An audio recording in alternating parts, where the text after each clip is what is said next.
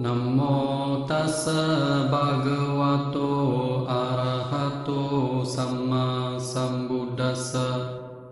Nam mô tassa bhagavato arahato samma sambuddhassa. Nam mô tassa bhagavato arahato samma sambuddhassa. Thưa quý vị đó, Bữa hôm trước Ờ, khi mà sư giảng thì uh, nó còn thiếu một vài cái đoạn cuối mà sư chưa có nói uh, đến. Thì ngày hôm nay trước khi qua bài mới á, sư bổ sung một vài cái đoạn của bài cũ. Đó là gì? Những cái phiền toái mà chúng ta sẽ gặp nếu như chúng ta không kham nhẫn đối với những cái sự lạnh nóng rồi mũi mồng gió nắng hay là những cái cơn đau khốc liệt, thì đó sẽ đem lại những phiền toái như thế nào? Đó là gì? Khi mà chúng ta chịu những cái đau khổ như vậy đó, thì chúng ta sẽ có cái sự mong muốn được thoải mái. Ví dụ như nóng mong muốn được mát, lạnh mong muốn được nóng thì cái sự mong muốn được thoải mái đó, nó làm cho dục lậu tăng trưởng. Tức là nó khiến cho những cái mong muốn hưởng thụ các dục lạc tăng trưởng và chính những hưởng thụ đó đưa chúng ta đến các cảnh giới tái sanh. Cái phiền toái thứ hai đó là khi chúng ta chịu những cái sự nóng lạnh hay là chịu những cơn đau khốc liệt hay là chịu những cái con, ví dụ như rắn nó cắn, hoặc là những con kinh sợ. Thì khi đối diện với cái chết, chúng ta sẽ run rẩy. Chúng ta mong muốn là mong cho đời sau kiếp khác tôi không phải chịu như thế này nữa. Thì khi chúng ta có sự mong muốn về cảnh giới tái sanh như vậy, nó đưa đến hữu lậu tăng trưởng, và nó sẽ tiếp tục dẫn chúng ta đi tái sanh. Rồi khi mà chúng ta chịu những cái thử thách như vậy đó, chúng ta có suy nghĩ là tôi đang bị lạnh, tôi đang bị nóng, tôi đang bị mũi cắn, rồi tôi đang bị ngứa, tôi đang bị đau thì khi mà chúng ta chịu những cái khổ như vậy mà chúng ta gắn với cái tôi ở trong đó đó thì nó làm cho cái kiến lậu tăng trưởng. Tức là đụng cái gì cũng là tôi bị thì nó làm cho kiến lậu tăng trưởng. Khi mà chúng ta gặp những cái đó mà chúng ta không có sự quán chiếu một cách đúng đắn không có sự thực hành một cách đúng đắn và tổng hợp tất cả những cái trên á, đó chính là vô minh lậu. Bởi vì do chúng ta không biết những chuyện này, cho nên nó mới dẫn chúng ta tiếp tục đi tái sanh. Thì bữa hôm trước chúng ta đã học về những cái phiền toái mà chúng ta có thể diệt trừ bằng cách là chúng ta kham nhẫn. Nhưng mà đó chúng ta ngày hôm nay qua bài mới thì chúng ta sẽ thấy là đức thế tôn là một vị nói pháp không bao giờ có kẻ hở. Tức là sao? Trong đạo hệ có cương thì cũng phải có nhu. Tức là khi mà chúng ta gặp những vấn đề chúng ta phải kiên trì, kiên nhẫn, chúng ta đối mặt.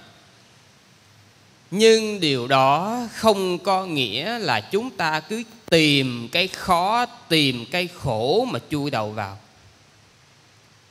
Nhớ dùm cái điểm quan trọng như thế này.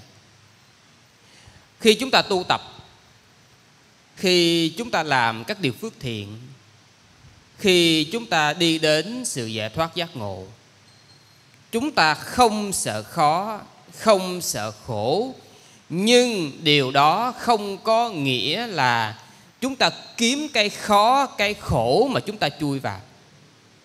Nó khác nhau ha tại sao? Tại vì chúng ta phải biết được cái giới hạn của bản thân. Có những nơi đó mà chúng ta thấy là cái chuyện chúng ta chịu đói được thì không sao. Có những nơi chúng ta thấy chúng ta chịu lạnh được thì không sao. Nhưng mà có những cái cái năng lực tu của chúng ta còn non kém. Mà chúng ta đã vội đẩy mình vào trong cái khó, đẩy mình vào trong cái khổ rồi khi chúng ta chịu không nổi nữa, chúng ta buông. Thì đó là điều không nên. Chính bởi vì như vậy đó, đức phật mới dạy tiếp là có những việc mà chúng ta có thể đoạn trừ bằng cách tránh né. Nhớ dùm sư cái chuyện mà mình kham nhẫn nó khác với cái chuyện chúng ta tự sát. Tại vì cái kham nhẫn là bị động. Tức là cái chuyện nó tới và chúng ta phải kham nhẫn. Còn cái người thiếu trí đó là họ kiếm tìm cái chỗ khó, chỗ khổ, chỗ nguy hiểm mà họ chui đầu vào. Thành ra đây là hai cái khía cạnh khác nhau chúng ta phải phân biệt bởi nhiều lúc á, sư thấy nhiều vị um, khen cái chỗ này chỗ kia tu khó lắm. Rồi người ta hoan hỉ người ta chui vô thì sư ờ, cũng rất là ái ngại. Phải cẩn thận. Ở đây đó đầu tiên là chúng ta phải quán chiếu tránh né cái thú dữ. Thú dữ ở đây thì nó bao gồm những con như là voi nè, voi hung dữ nè ngựa nè rồi cọp beo các cái thể loại mà chúng ta phải gặp ở trong rừng. Nhưng mà bây giờ đó, quý vị đâu có ở rừng, quý vị ở thành phố. Thì những con thú dữ đó đó, chúng ta cũng có thể hiểu là những người rất là ác. Ví dụ như những cái kẻ cướp những cái người say xỉn, những người mất trí, thì chúng ta cũng nên tránh họ đi. Tại sao như vậy? Bởi vì đó, những con thú dữ thì nó đâu có suy nghĩ được như người bình thường. Luôn luôn tìm ẩn cái sự hung bạo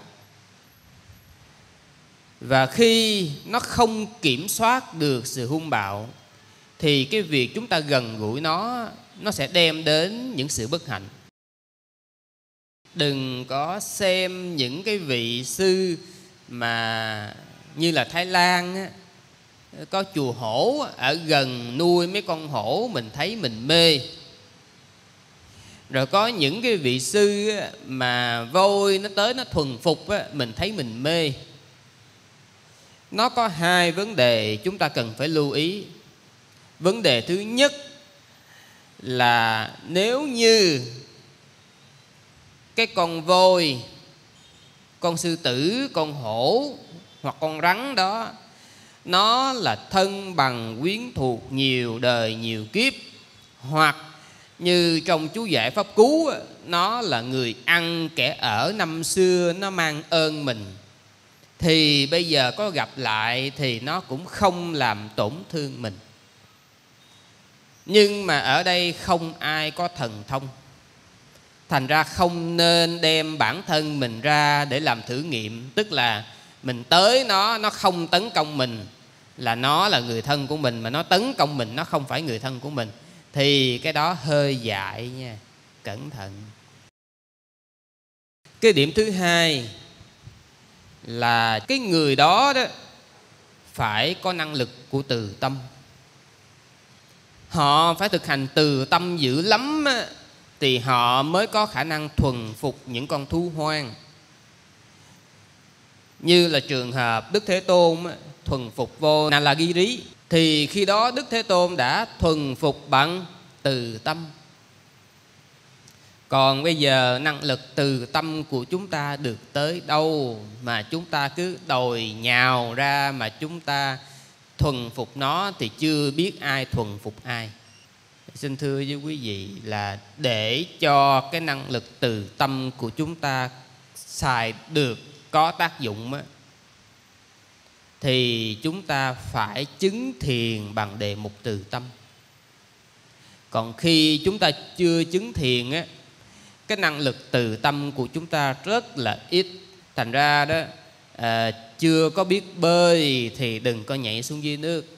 Bởi vì nếu như chúng ta không cẩn trọng thì những con vật đó hoặc như bây giờ là những người điên đó sẽ làm có thể làm cho chúng ta chết hoặc đau khổ gần chết.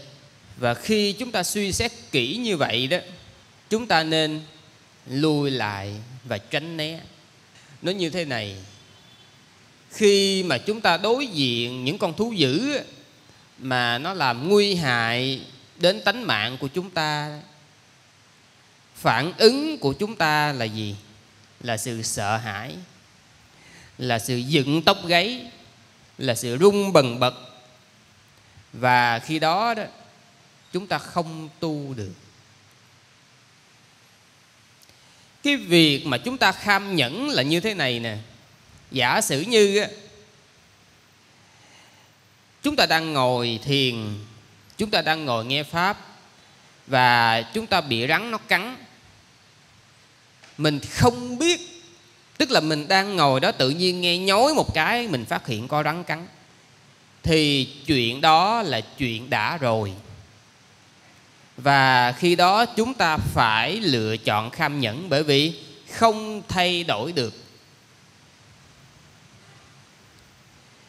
Chứ điều đó không có nghĩa là chúng ta thấy con rắn nó đang bò. Chúng ta nhào ra, chúng ta ngồi để chúng ta kham nhẫn. Thì đó là cách hiểu kinh sai lầm. Chính bởi vì như vậy, ở đây đức thế tôn dạy, khi chúng ta suy xét những sự nguy hại thì chúng ta nên lui đi nên tránh đi. Cái việc thứ hai mà chúng ta phải tránh đó là gì? Sau khi mà chúng ta suy xét chúng ta phải tránh những cái gốc cây những chỗ gai gốc hố sâu vách đá hồ nước đục ao nước bẩn. Tại sao như vậy? À, đầu tiên chúng ta phải giải thích một số cái từ gốc cây ở đây đó là các thể loại gốc cây ở trong rừng ừ. còn à, cái bãi cái những cái hố nước đục ao nước bẩn ở đây là bao gồm luôn những cái bãi rác những cái hố chất thải hoặc là những cái bãi chất bẩn. Chúng ta đều nên tránh. Cái chuyện chúng ta tránh nguyên nhân không phải là bởi vì nó dơ nó bẩn rồi nó mất vệ sinh. Không phải như vậy. Mà nguyên nhân là những cái nơi này là nơi mà phi nhân thường lui tới. Mà phi nhân ở đây là những cái hàng phi nhân ác phi nhân xấu họ thường lui tới.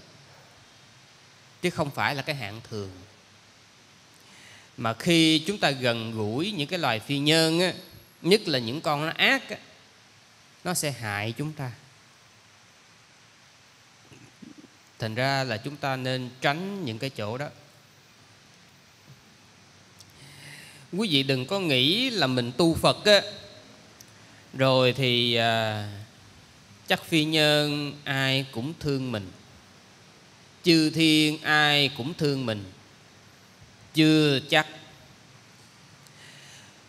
bởi vì ngay cả trong các cái hàng phi nhân như là ngạ quỷ dạ xoa luôn cho đến cả các hàng chư thiên có những vị à, không ưa phật giáo và có những vị mến mộ phật giáo.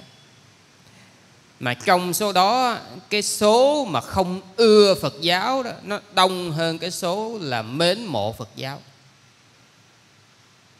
cái sự kiện này đã được nhắc đến trong kinh A Năng Chi của Trường Bộ. Do đâu? Do khi Đức Phật thuyết pháp, ngài đề nghị hãy giữ giới không sát sanh, không trộm cắp, không tà dâm, không nói dối, không uống rượu. Hàng phi nhân rất nhiều họ không có ưa nó giống như bây giờ quý vị ra đường quý vị gặp mấy cái người à, mà xấu mà quý vị kêu họ giữ giới làm sao họ giữ? Họ không có ưa mình đâu. Vào chùa kêu người ta giữ giới thì được. Chứ còn mà vào quán nhậu mà kêu người ta giữ giới là mình chết.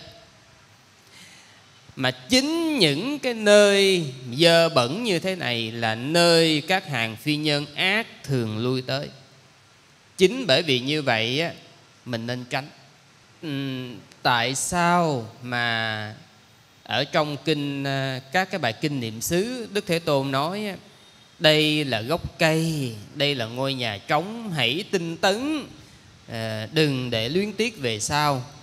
Nhưng ở đây đức thế tôn lại xếp cái gốc cây vào cái nơi mình nên tránh. Là như thế này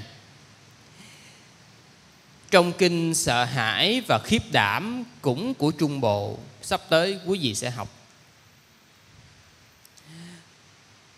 Các vị bà la môn nói đức, với đức thế tôn là người có khả năng ở trong rừng người có khả năng ở dưới gốc cây không phải đơn giản, đặc biệt là những vị xuất gia mà chưa chứng thiền đức thế tôn cũng xác nhận như vậy.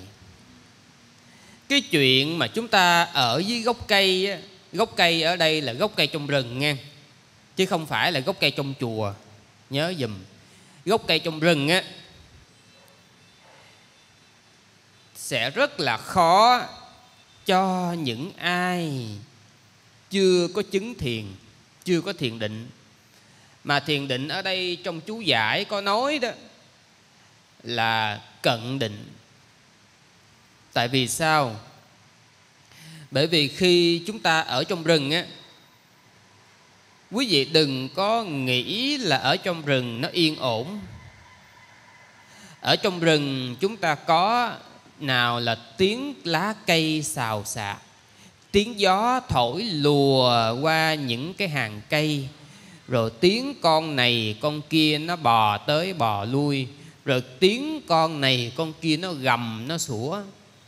Tối khuya mà quý vị nghe chó sói nó hú, hoặc là nghe tiếng cọp nó gầm hoặc là mình nghe tiếng gió thổi, thì với những ai mà chưa chứng thiền, nội tâm của họ còn yếu, thì họ rất dễ tưởng tượng ra những hình ảnh đáng sợ. Ví dụ như ngồi ở giữa rừng họ tưởng tượng là có cái con thú dữ nó đang ở ngoài cửa. Hoặc họ nhìn ra cửa sổ họ thấy hình như nó có cái bóng mờ nó đang ngó họ. Sẽ rất là đáng sợ với những ai trong rừng. Đương nhiên à, những cái người mà thường ở rừng á họ thường sống ở rừng thì họ đã quen nó khác còn mình á, mình chưa có quen mà mình chưa gì hết, mình chui vào trong đó thì nó rất là nguy hại. Chính bởi vì như vậy đó, trong một lần đức thế tôn cùng với cái vị thị giả, lúc bấy giờ người thị giả chưa phải là ngài Ananda. Cái vị thị giả này đó, khi đi ngang qua một cái rừng xoài vị này hoan hỷ với khu rừng quá và xin thỉnh thế tôn, hãy cho ngài ở lại khu rừng này hành thiền. Đức thế tôn nói, chưa được đâu. Nhưng mà vị này xin ba lần, thế tôn vẫn từ chối. Thế là vị này đành đoạn để y và bác thế tôn trên một tảng đá rồi bỏ vào trong rừng. Và đây cũng là tình trạng chung của rất nhiều người họ chưa có kinh nghiệm. Khi họ xin một cái gì đó, cái vị thầy lớn có kinh nghiệm không có cho, nhưng mà họ không có nghe. Tới hồi mà vị này đi vào trong rừng những cái cảnh kinh sợ nó khởi lên và vị này không hành thiền được. Vị này phải về và thưa lại với đức thế tôn.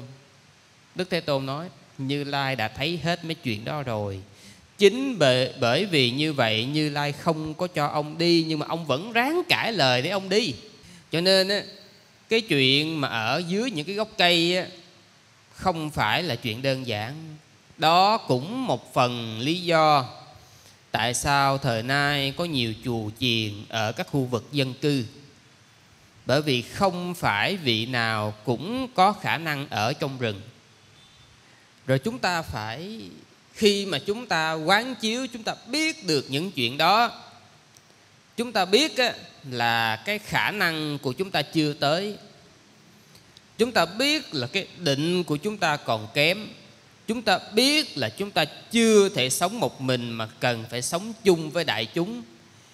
Thì chúng ta phải né những cái đó đi. Mà bây giờ thì ở đằng sau này có cái uh, cái vườn thiền đó. Nếu như quý vị muốn trải nghiệm ngồi dưới gốc cây thì cũng có thể ra đó mà trải nghiệm, chứ không cần phải vào ở trong rừng rồi thế nào là chúng ta phải quán chiếu, rồi tránh né chỗ không nên ngồi, chỗ không nên đến và các ác hữu. Cái chỗ không nên ngồi ở đây đó là những cái chỗ người ta không có mời, không có được soạn sẵn, không có dành cho mình thì những cái chỗ đó đó, chúng ta không nên ngồi. Sư lấy ví dụ như, ở đây có rất nhiều cái chỗ ngồi, nhưng cái pháp tòa này không phải ai cũng leo lên ngồi được.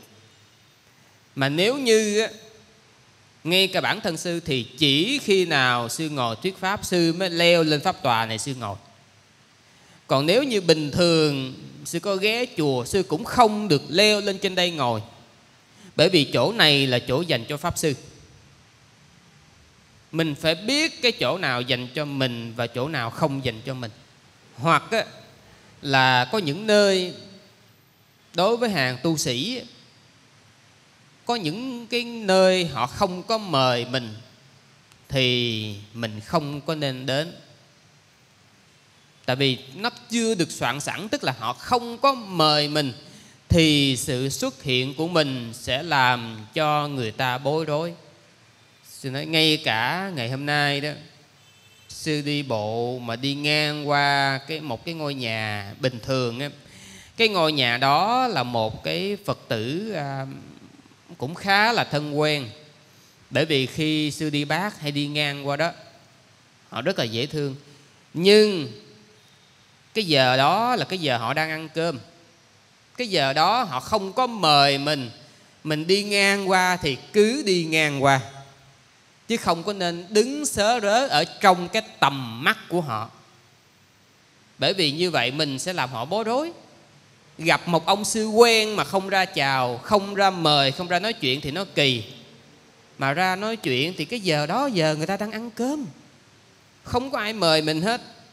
Thì mình phải biết có những chỗ mình không có nên đến hoặc uh, là ví dụ như cái chùa này đang có trai tăng đang có lễ không có mời mình thì mình cũng không có nên tới làm chi Đấy. chứ còn à, mình cứ nghe ở đâu có động chén động bát mà mình chui vào á nó kỳ dữ lắm Đấy còn hàng cư sĩ quý vị thì cũng có những nơi như vậy. Quý vị thấy rất là rõ ở đời này. Cái chỗ người ta đang ờ, đãi tiệc, mình không có dính dáng tới mình mình cũng đâu có chui vô làm chi.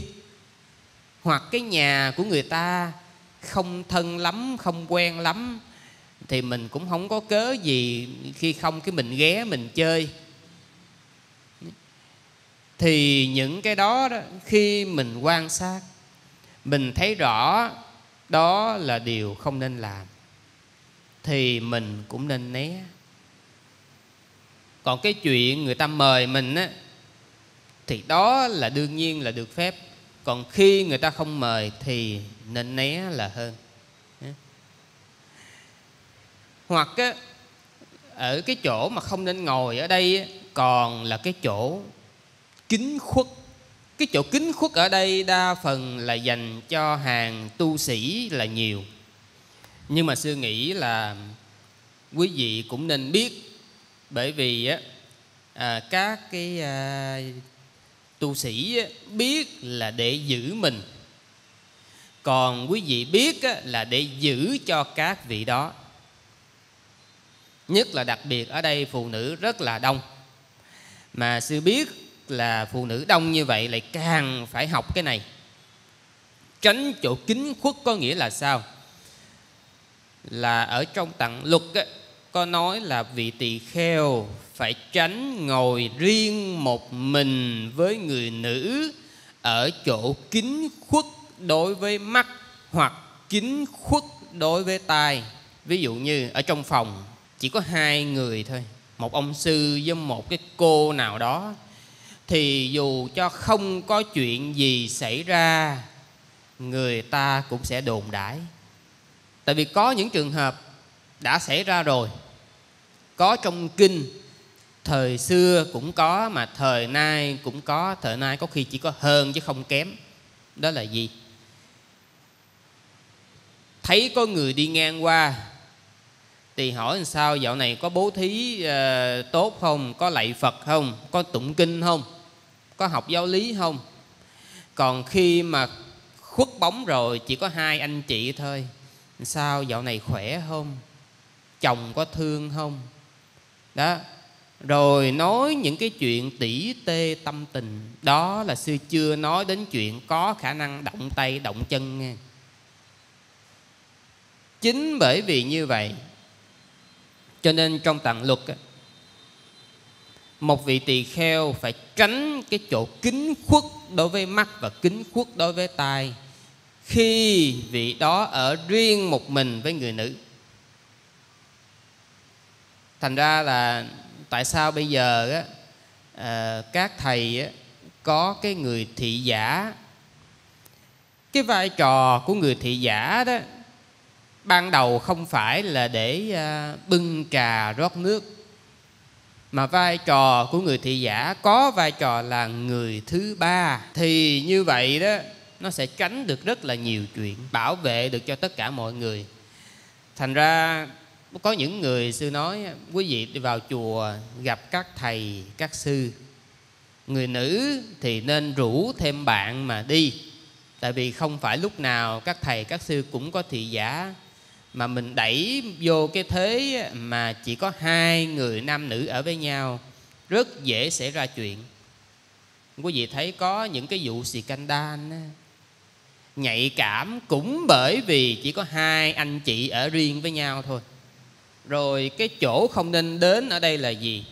Là những nơi đó mà có những cái người phụ nữ lẳng lơ hoặc là những cái cô gái làng chơi hoặc là những nơi mà có nguy hại đối với phạm hạnh. Quý vị có thấy một ông thầy tu đi vô cái quán massage bao giờ chưa? Đó là chỗ không nên tới. Hoặc đi vô cái quán gọi là cà phê thanh lịch thì cũng không nên tới. Hoặc những cái chỗ hớt tóc gội đầu uh, của mấy em sinh tươi thì cũng không nên tới. Thành thử Ờ, các thầy, các sư khi mà đi tu thì cũng phải dù ờ, muốn dù không thì cũng nên học một cái kỹ năng, đó là gì? Tự cạo đầu. Tại vì khi mình không tự cạo đầu được á, lỡ mình đi đâu đó mình ở có một mình thôi. Rồi bây giờ mình nhờ ai cạo giùm mình giờ? Ra ngoài cái tiệm cạo đầu nó kẹt dữ lắm. Hay là những cái nơi á mà mình biết cái người nữ ở đó có vấn đề với mình thì mình cũng không nên tới. Có nhiều trường hợp mình cứ lui tới hoài, mình lui tới hoài, mình biết là họ có vấn đề với mình thì mình cũng phải nên tránh. Cho nên là có nhiều vị quý vị cũng thông cảm khi tiếp xúc với những một số vị tu sĩ các vị đó giữ khoảng cách với quý vị. Đặc biệt á, là một á, là mình à, trẻ nè. Hai á, à, là mình à, gần gũi nhiều kiểu thân thuộc nhiều thì đôi khi các vị đó lại càng phải giữ khoảng cách. Nó giống như cái người phụ nữ mà có nhan sắc á thì anh chàng nào tới nói chuyện thì mình đều phải có tâm lý đề phòng hết. Không biết là nó có ý gì với mình hay không thì cũng phải có tâm lý đề phòng. Còn một vị tu sĩ, hễ mà người nữ mà tới gần á, vị đó cũng phải có tâm lý đề phòng. Còn khi mình không đề phòng á, là mình chết. Khi mà sư xuất gia sa di thầy tế độ ờ, có nhắn nhủ một lời như thế này. Một vị sư á, mà có cái bề ngoài đẹp trai đi tí xíu đó thì phải tu gấp đôi người ta. Vị sư á, mà có tài một chút xíu mà không được đẹp trai á, thì cũng phải tu gấp đôi người ta còn vị sư mà vừa có tài mà vừa đẹp trai là phải tu gấp 10 lần người ta chứ không thôi là chết. Thành thử chúng ta phải biết có những chỗ chúng ta không nên tới chứ không phải mình cứ thấy là ờ người ta mời mình là mình cứ tới thì chưa chắc. Như là trường hợp à, ở trong kinh đại bát niết bàn á, có một cô kỹ nữ mời đức thế tôn đến dự buổi lễ Ca tăng. Đức thế tôn đồng ý. Nhưng mà đức thế tôn dặn các vị tỳ kheo hãy giữ gìn chánh niệm. Bởi vì nếu như vị nào mà không giữ chánh niệm á, nhìn cái cô kỹ nữ này là sẽ bị mê mẩn mà may đó là bữa đó đi chung với đức thế tôn. Và đi chung với các vị thánh tăng. Là các vị phàm tăng á, là được bảo bọc bởi hai lớp như vậy. Chưa kể là được thế tôn dặn dò giữ gìn chánh niệm. Ngày nay thế tôn đâu còn nữa. Thánh tăng cũng đâu còn nữa. Cho nên những chỗ đó là những chỗ phải tránh chứ còn mà mình mở miệng ra nói, ta không vào địa ngục thì ai vào địa ngục là đừng có đổ thừa nghe cái chỗ không nên tới ở đây đó, còn là cái chỗ nó gây ra sự chia rẽ.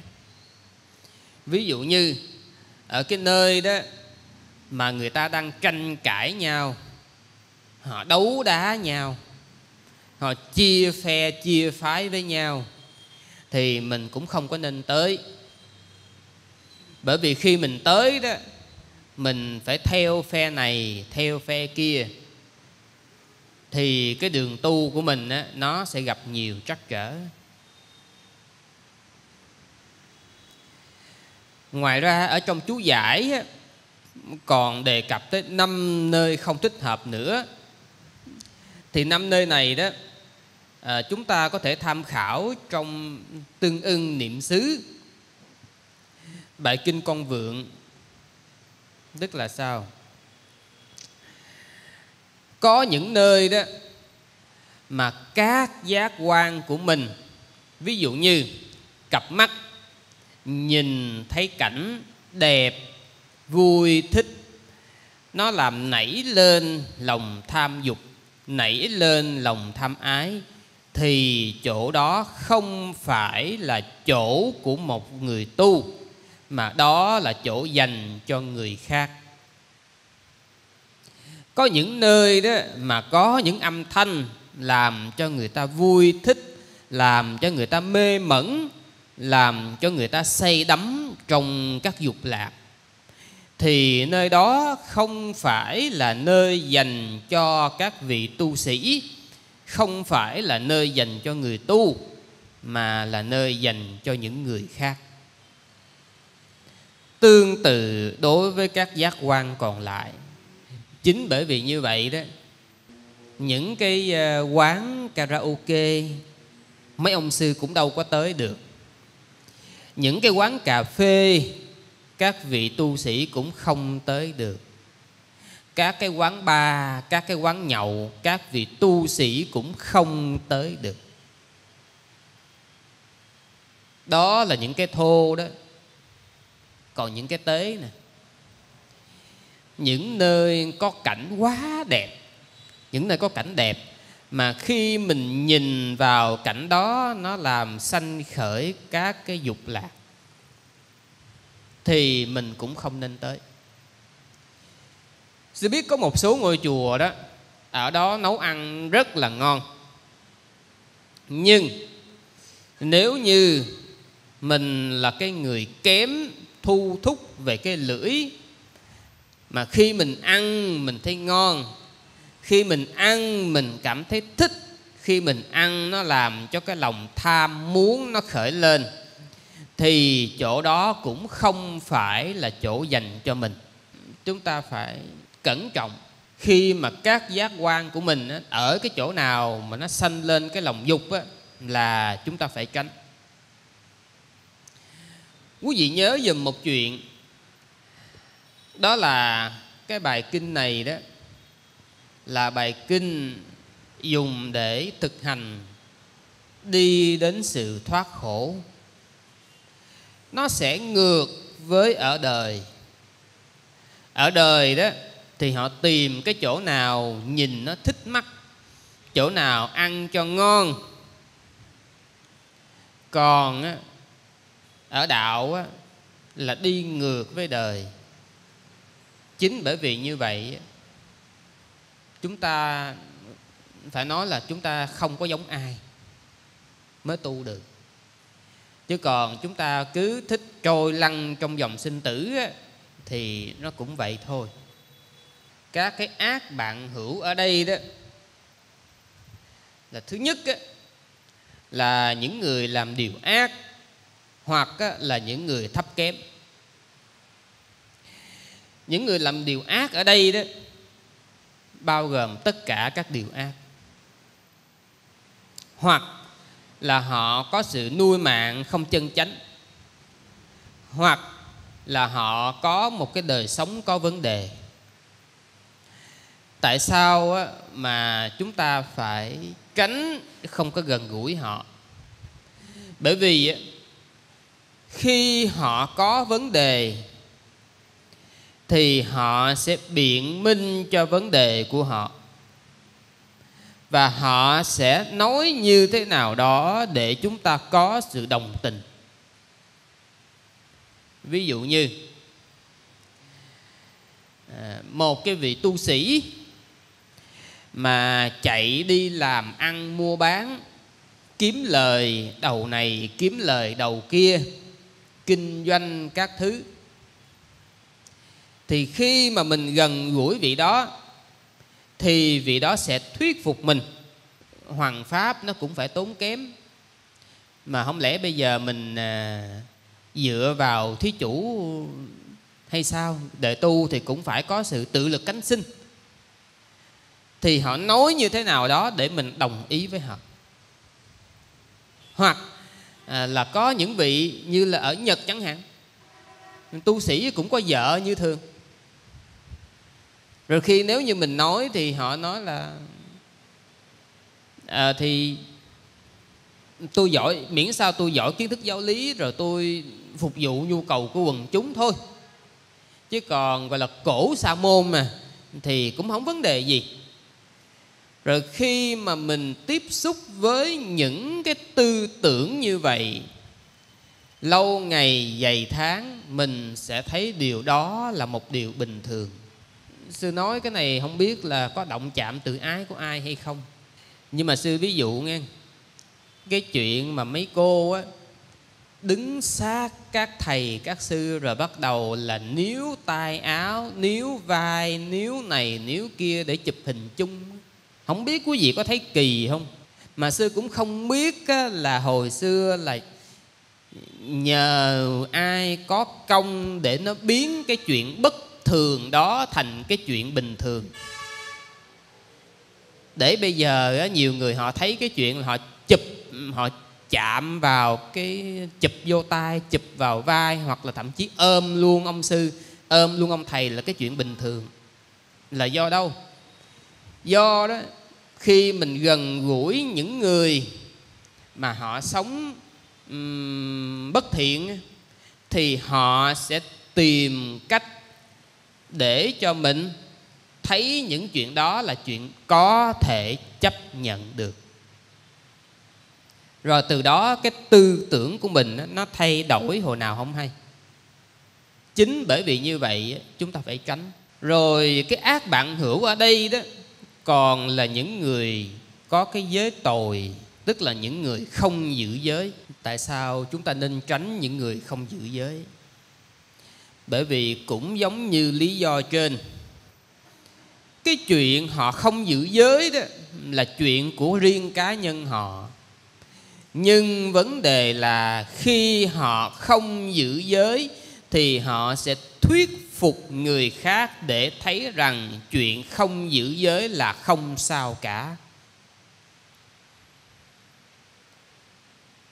Ví dụ như, mình gặp một người đó, họ uống rượu, cũng là phật tử hoặc không phải phật tử, nhưng họ uống rượu, thì khi chúng ta tiếp xúc với họ, nói chuyện, thì họ sẽ tìm cách này cách kia để họ tiêm nhiễm vào đầu của mình là cái chuyện uống rượu á chấp nhận được.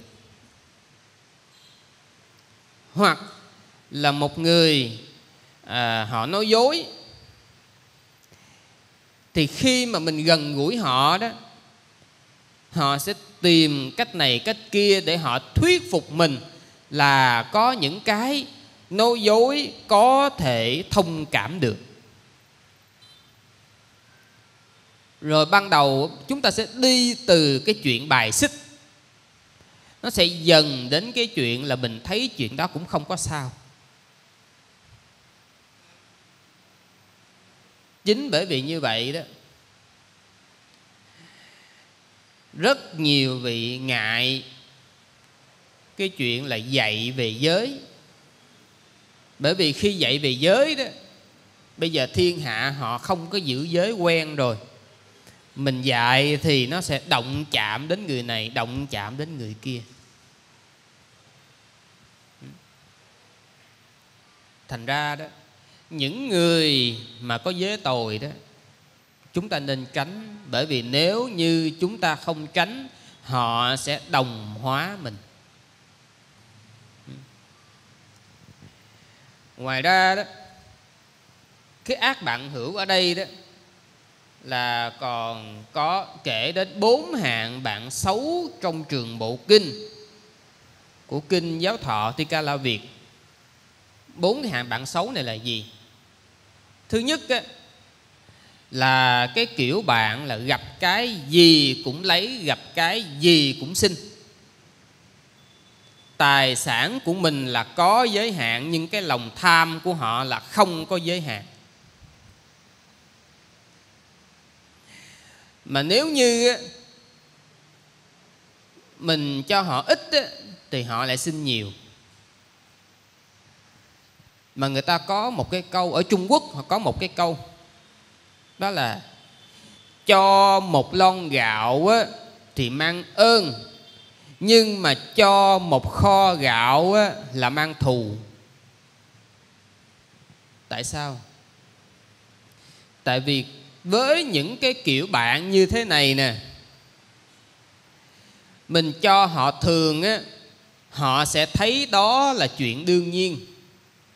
Họ sẽ thấy mình có bổn phận phải giúp đỡ họ.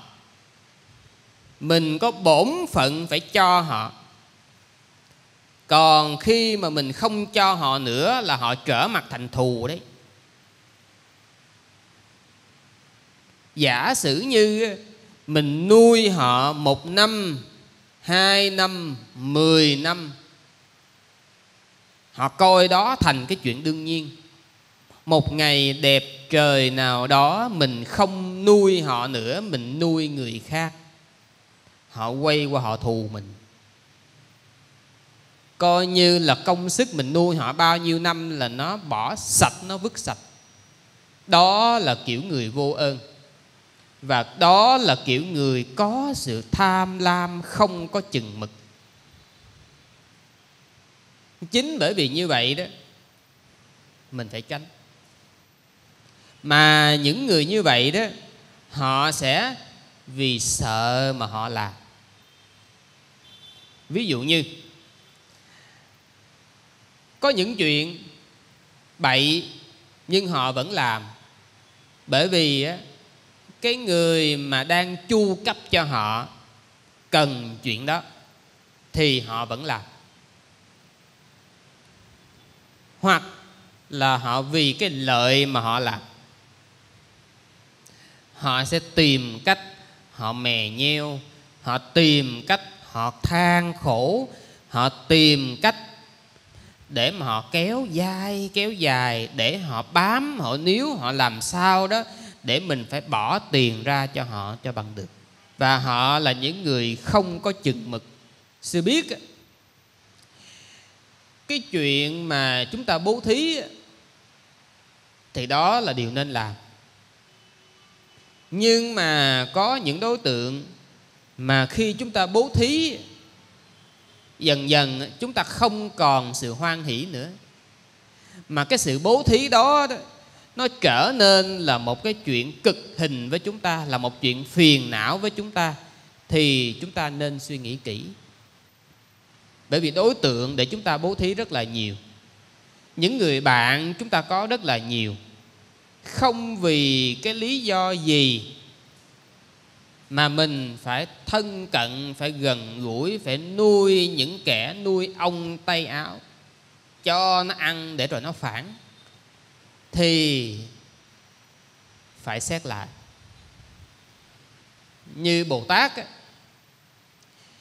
trong kiếp quá khứ khi mà ngài à, là một cái người à, thợ một cái người nghệ sĩ đánh đờn rất là giỏi lúc bây giờ đó, có một người đến để xin học nghề với cái vị thầy tức là bồ tát và cái người sinh học đó là đề bà đạt đa. Bồ tát nhìn thấy cái người này biết đây là con người vô ơn. Cho nên bồ tát từ chối dạy. Chứ không phải là mình cứ nghĩ là mình từ bi, là mình cái gì mình cũng nhận.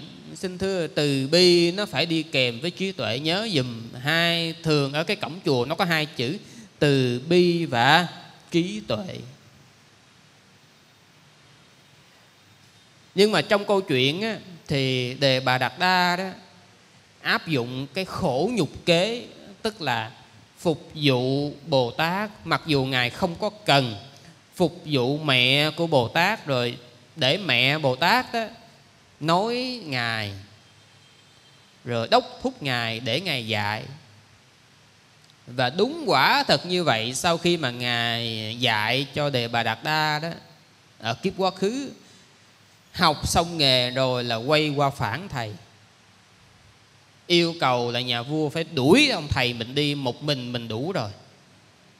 Đấy. cho nên á, cái loại bạn đó thì chúng ta không nên xem là bạn. Cái loại bạn thứ hai đó là cái loại bạn chỉ biết nói chứ không biết làm. Tức là gì? Ở gần mình á họ chỉ toàn kể những cái chuyện quá khứ. Hồi xưa tôi đã làm thế này hồi xưa tôi đã làm thế kia. Hoặc á, là họ vẽ ra những viễn cảnh tương lai. Cứ tới với tôi đi rồi thì cứ hết lòng với tôi thì tôi sẽ làm cho cái này tôi sẽ làm cho cái kia. Họ lúc nào họ cũng ráng họ lấy cảm tình mình hết. Họ tán dốc để họ lấy cảm tình mình hết. Nhưng tới họ đụng chuyện á xài không được. Một á, là họ sẽ viện cớ để họ làm không được cái chuyện đó họ né họ làm không được chuyện đó. Ví dụ như à, hôm nay tôi bệnh hôm nay tôi mệt hôm nay à, tôi kẹt tôi làm không được. Tức là tới hồi mà mình cần á là không thấy mặt mũi đâu hết. Còn nếu như mà lên mà làm á là hư công hư chuyện hết. Nói miệng rất là giỏi nhưng làm thì không được mà xin thưa với quý vị, cái người mà họ làm được thì họ không có nói nhiều. Cái người họ làm được thì họ không có kể lễ nhiều. Thành thử chúng ta phải cẩn trọng. Bởi vì có nhiều trường hợp mà chúng ta gặp những người nói giỏi lắm. Xin thưa, nói giỏi lắm. Đụng chuyện đưa lên là bể công bể chuyện hết trơn thử một lần, thử hai lần, không được nữa rồi là người ta cho đi luôn. Chứ không có ai rảnh đâu mà cứ để cho mình thử hoài. Sẵn thì sư nhắc luôn quý vị một chuyện. Đó là đó, ở ờ, đời cũng vậy mà ở đạo cũng vậy. Chỉ có mẹ của mình hoặc là thầy tổ của mình mới chấp nhận, mới nhìn mình đi từng bước đi lên. Tức là nhìn thấy mình từ một người đầy những lỗi lầm, đầy những vấn đề, đưa ra những sản phẩm ờ, rất là dở, nhưng họ vẫn kiên nhẫn với mình. Chứ còn người ngoài đó, họ không kiên nhẫn được như vậy thành ra khi chúng ta đưa ra một cái sản phẩm nào đó, thì sản phẩm đó phải hoàn hảo, hoặc ít nhất xài được. Chứ còn mà mình đưa ra một cái sản phẩm mà nó tệ đó, thì người ta bỏ mình, người ta đi hết. Cái loại bạn thứ ba đó là cái loại bạn mà hay nịnh hót. Cái loại hay nịnh hót là như thế nào? Là cái loại đó mà khi mình làm mấy chuyện bậy họ mê lắm. Họ thúc đẩy mình. Họ chỉ cho mình làm. Còn khi mà mình đi làm những chuyện thiện á, họ cản. Rồi họ thường hay khen mình để lấy lòng mình. Nhưng mà ở sau lưng á, là chê. Xin thưa nghe. Chúng ta nên xét lại các mối quan hệ của chúng ta. Có những mối quan hệ đó mà khi chúng ta đi chơi bời á, họ có mặt. Đi ăn, đi nhậu, họ có mặt. Đi bài bạc, rượu chè, họ có mặt. Còn khi mà chúng ta đi chùa á rủ không được. Đi làm phước đi làm từ thiện á rủ không được. Thì chúng ta nên xét lại những người bạn này. Hoặc á, là những cái kiểu bạn á, gặp mình thì lúc nào cũng khen hết. Nhưng mà để ý dùm sư một chi tiết như thế này. Họ thường hay chê người khác ở sau lưng. Ví dụ như khi gặp mình họ khen mình đủ thứ hết nha. Khen trời ơi anh là tuyệt vời anh là hay lắm anh giỏi lắm. Nhưng mà khi mình ngồi mình nói chuyện á, là họ lôi người này ra nói lôi người kia ra nói. Mà lôi ra là họ lôi cái gì? Lôi tật xấu của người khác ra nói. Đi đầu này nói đầu kia quý vị có chắc là khi họ khen quý vị ở trước mặt và chê người khác sau lưng, thì khi họ gặp người khác, họ sẽ không có khen người khác trước mặt và chê mình sau lưng hay không? Thành ra đó, chúng ta phải cẩn trọng với những cái kiểu bạn mà tiếp xúc rồi họ chê mình thì không có. Họ chê người khác là nhiều thì cứ tin sư đi. Họ chê người khác được là họ sẽ chê mình được. Chính bởi vì như vậy đó, cái kiểu bạn đó không đáng để chúng ta xem là bạn. Sư từng gặp có người đó, họ coi cái chuyện là mình giúp đỡ họ đó là cái chuyện đương nhiên. Cái chuyện mình không giúp họ là cái chuyện không có được phép. Mình phải có trách nhiệm giúp đỡ họ. Mà cái sự giúp đỡ họ đó không bao giờ là chấm dứt không bao giờ là có chừng mực. Họ hết yêu cầu cái này đến yêu cầu cái khác. Rồi đó, khi mà họ từ chỗ khác, họ tới chỗ mình chơi đó, họ khen mình. Nhưng mà mình để ý ở trong câu chuyện họ chê người khác. Họ chỉ lỗi hết người này đến người kia.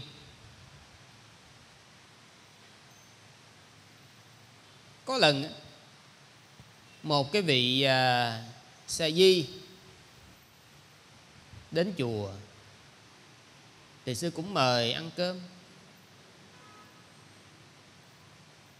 Cái câu mở đầu của ổng là chê cái ngôi chùa cũ của ổng. Chê trên từ vị thầy cho đến trụ trì cho đến mấy ông sư. Chê hết chê láng chê đủ thứ rồi sau đó thì có cái lời là xin ở ở lại chùa.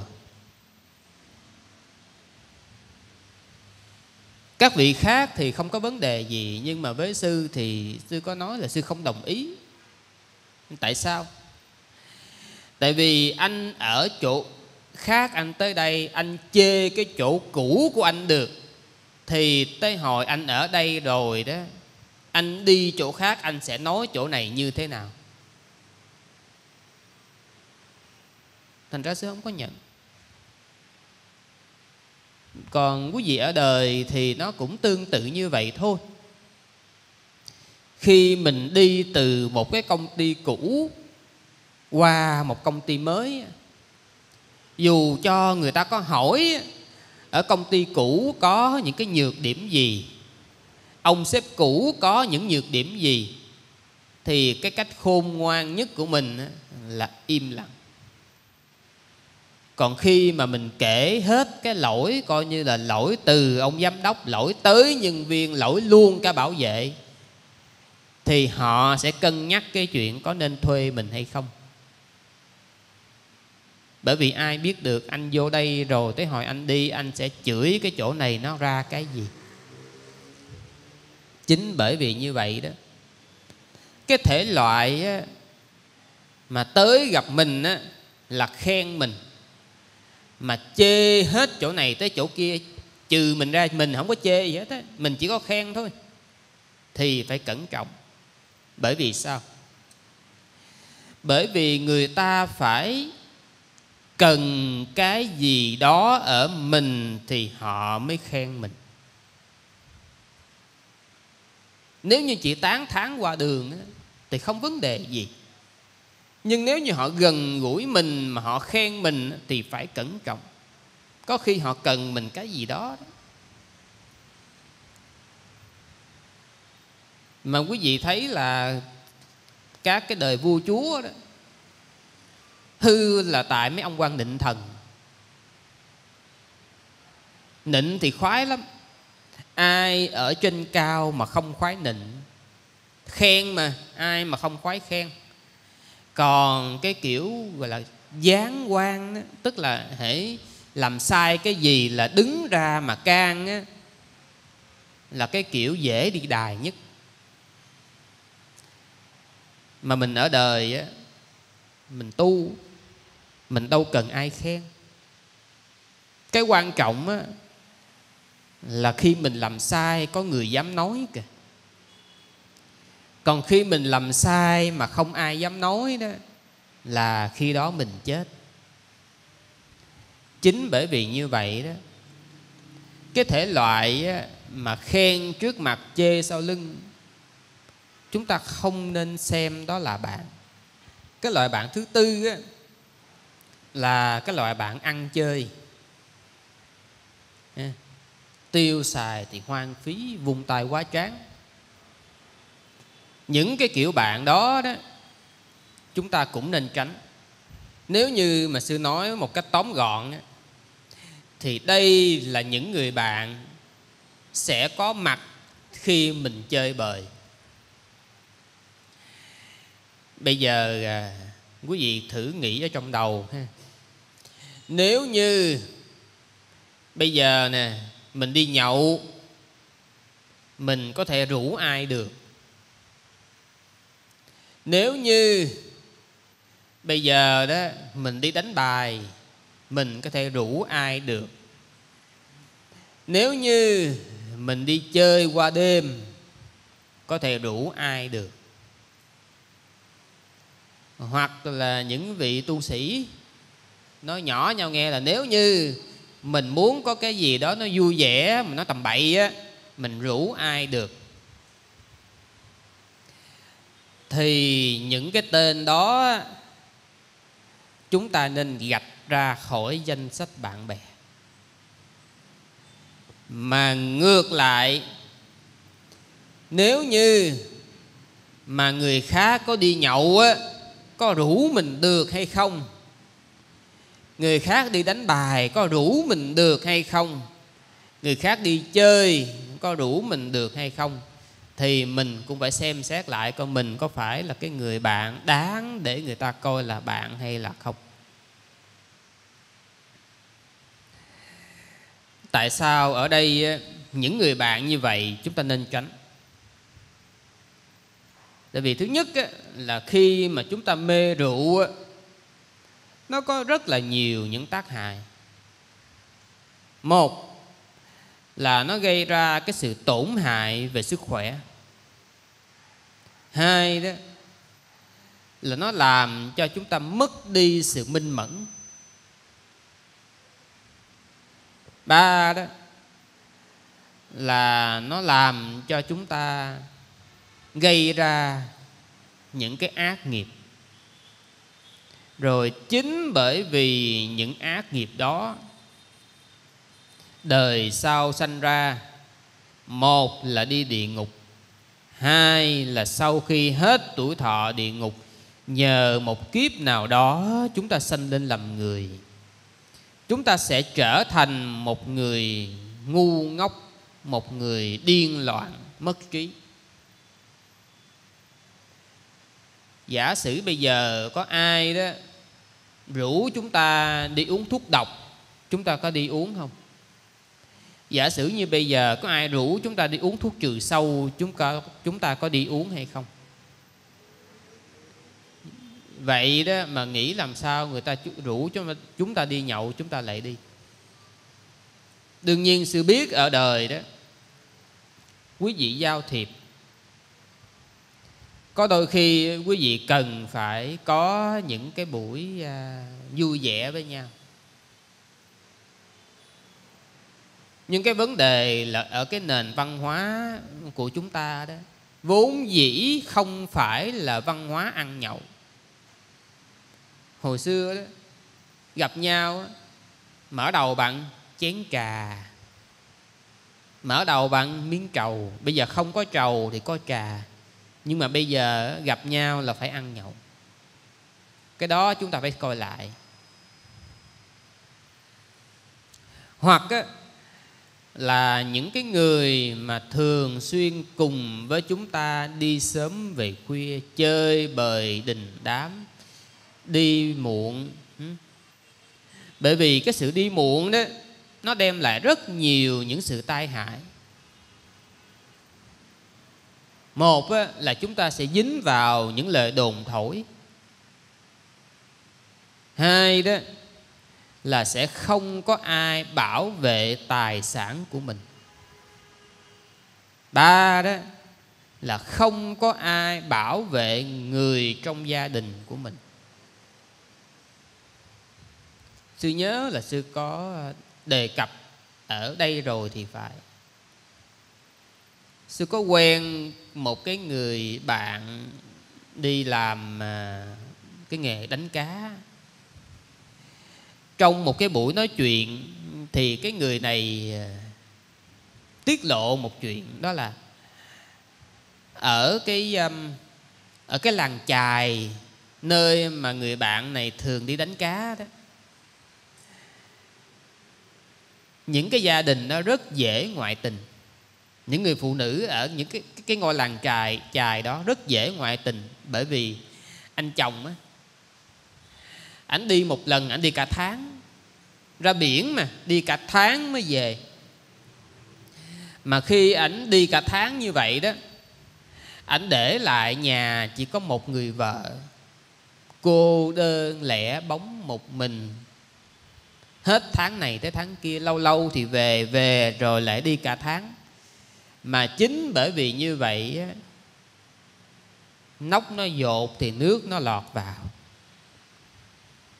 Thành ra đó, những người bạn mà thường rủ rê chúng ta đi sớm về khuya, thì chúng ta nên tránh. Sư biết, có những người vợ đó, họ chan cơm với nước mắt tại vì ông chồng ông đi nhậu giờ này chưa về. 11, 12 giờ chưa thấy về. Gọi điện á Thì bạn bè nó nói ông chồng sợ vợ. Mà không gọi điện á Còn lâu ông mới chịu về. Thì cái kiểu bạn bè đó như vậy Chúng ta không nên xem là bạn rồi cái chuyện la cà đình đám nó cũng vậy thôi. Cũng giống như là cái chuyện đam mê cờ bạc. Bởi vì á, những cái người bạn này á, chỉ đem lại cho mình nợ nần thôi. Có một cái người làm cái nghề à, gọi là tổ chức cờ bạc họ dám tuyên bố một câu như thế này. Chỉ có cái hòm á, là họ không có lấy lại thôi chứ còn ăn họ bao nhiêu họ cũng lấy lại được hết. Thành ra đó những cái người bạn á, mà vô cái mùa đá banh á, gọi bắt kèo trên hay kèo dưới thì những cái thể loại bạn đó chúng ta nên tránh đi, bỏ đi, đừng coi là bạn. Thì tất cả những cái hạng bạn như thế này, chúng ta nên tránh, không có nên làm quen. Bởi vì đó chỉ đem lại những phiền não thôi. Và cái loại ác bạn hữu cuối cùng ở đây đó là những kẻ thù, những kẻ oan trái với mình tại sao? Đừng có nghĩ là mình giỏi. Khi mà từ tâm của mình chưa đủ, ở gần họ chỉ thêm phiền. Ở gần kẻ thù chắc không ai muốn. Ừ. Và họ sẽ tìm cách họ đâm thọc mình. Họ sẽ tìm cách họ hại mình chính bởi vì như vậy đó, khi mà từ tâm của mình chưa có vững thì mình nên tránh những kẻ thù ra. Tức là những kẻ mình không ưa, những kẻ mình ghét nên tránh ra. Bởi vì nó chỉ gây ra phiền não trong đời tu và trong đường đời của chính mình thôi. Thành ra đó, quý vị thấy là không phải lúc nào mình cũng phải đối mặt. Nếu như mình không giỏi nếu như mình không cứng thì tốt nhất là mình tránh né. Mà cái sự gần gũi ở đây đó mang hai cái ý nghĩa. Một là mình phục vụ họ. Tức là mình tôn họ lên làm thầy. Hai á, là mình gần gũi họ tức là mình coi họ như là bạn. Tại sao mà các sư á, vẫn gần gũi một số những cái người mà được xếp vào những hạng này? Đó là bởi vì các sư các thầy gần gũi với tư cách là người thầy và thấy rằng họ có thể dạy bảo được có thể sửa chữa được còn nếu như mình gần gũi theo cái kiểu là mình đội họ lên trên đầu để họ làm thầy đó nó là chuyện khác. Hoặc mình coi họ như những người bạn chí cốt đó, nó là chuyện khác. Mà các bậc phạm hạnh ở đây đó bậc trí các bậc trí giả phạm hạnh ở đây là một là các bậc thánh hai là các vị tỳ kheo có trí tuệ và phạm hạnh trong sạch.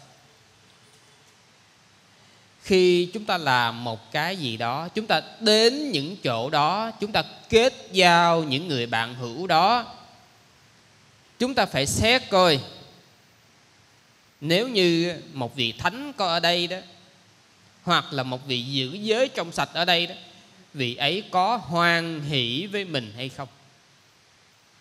Vị ấy có khen mình hay không? Và nếu như mình xét thấy là không á, thì chúng ta nên tránh.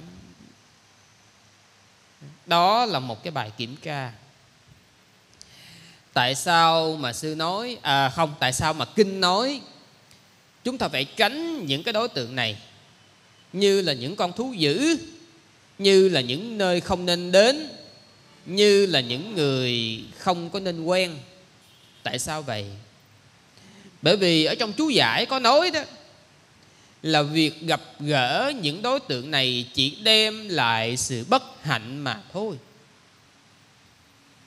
Nhớ dùm một chuyện, yếu thì đừng ra gió. Khả năng từ tâm của mình chưa tới thì đừng vội tiếp xúc những đối tượng trên. Chưa tới ở đây nghĩa là gì? Chưa chứng thiền đề mục từ tâm thì làm ơn đừng tiếp xúc. Chưa chứng thiền các đề mục khác làm ơn đừng tiếp xúc. Tức là khi mình chưa có khả năng làm cây cả ở một phương á, đừng vội nhào vào những chỗ này. Tức là chưa biết bơi thì đừng có vội nhảy xuống cứu người ta. Bởi vì đó chỉ đem lại những sự bất hạnh thôi bởi vì sao? Ở đây đó, trong chú giải có nói là những cái đối tượng này đó, nó sẽ làm tăng trưởng các lậu hoặc. Do đâu? Họ là nguồn cơn của sự khổ. Họ làm khổ mình đủ mọi thứ hết trơn á. Mà khi chúng ta khổ như vậy đó, chúng ta có nhu cầu bớt khổ chúng ta có nhu cầu muốn được hưởng cái sự thoải mái dễ chịu. Mà chính những cái đó đó chính những cái lạc thọ mà chúng ta tìm cầu nó đưa đến cái dục nó tăng trưởng. Ở đây là dục lậu. Hoặc á, là khi chúng ta bị những cái con người này á, nó làm phiền chúng ta bị những cái hoàn cảnh này đó nó làm hại. Chúng ta bị những cái con vật kia nó làm đau khổ. Chúng ta rất dễ có suy nghĩ là mong cho đời sau không còn những cái khổ như thế này nữa. Mong cho tôi sanh vào ở cảnh giới sung sướng hơn. Thì cái chuyện mong cầu tái sanh vào đời sau tốt hơn á nó đưa đến cái hữu lậu. Rồi như sư nói ngay từ cái bài kinh đầu tiên cho tới bây giờ, phàm phu chúng ta khi chưa tu tập, chưa có chánh niệm, chưa có trí tuệ, hễ mình đụng cái gì nó cũng lôi cái ngã của mình vào đó. Ở đây đó là nó nói là ta bị vôi nó dày, ta bị ngựa đá, ta bị phi nhân hại là ta bị ma nhập đó. rồi ta bị những cái người ghét, những người thù ở kế một bên thì hệ chúng ta đụng cái gì cũng có cái ta ở trong đó đó, là chúng ta rơi vào kiến lậu và tất cả những vấn đề mà chúng ta nói từ nãy tới giờ đó, từ trên xuống dưới, toàn bộ nó là vô minh lậu. Thành ra như sư nói, cái đời tu của mình khi cần kham nhẫn thì mình quán chiếu, mình kham nhẫn. Nhưng có những cái mình phải tránh né. Gặp những kẻ ác, gặp những kẻ ngu mình tránh được là mình tránh. Gặp những thứ đem lại sự bất hạnh. Gặp những thứ đem lại sự đau khổ làm cho chúng ta tăng trưởng dục lạc mà nhắm cái khả năng tu của mình chưa tới đó, thì nên tránh đi.